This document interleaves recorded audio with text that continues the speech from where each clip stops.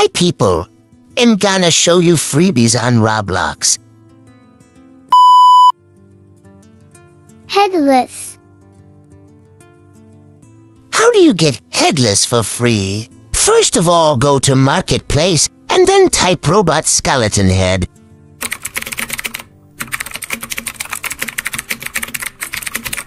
After you search it, use filter and find price low to high. Buy it and use face accessories to cover it up. Faceless. Next is how to get faceless for free. Go to Marketplace and search faceless. After you search it, use filter and find price low to high same as headless hack. There you go, mate. Billy character face.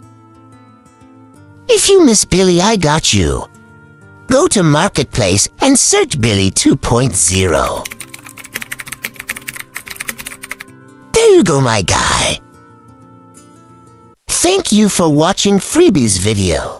Don't forget to like and subscribe and turn notifications on for more freebies stuff on Roblox. Bye people.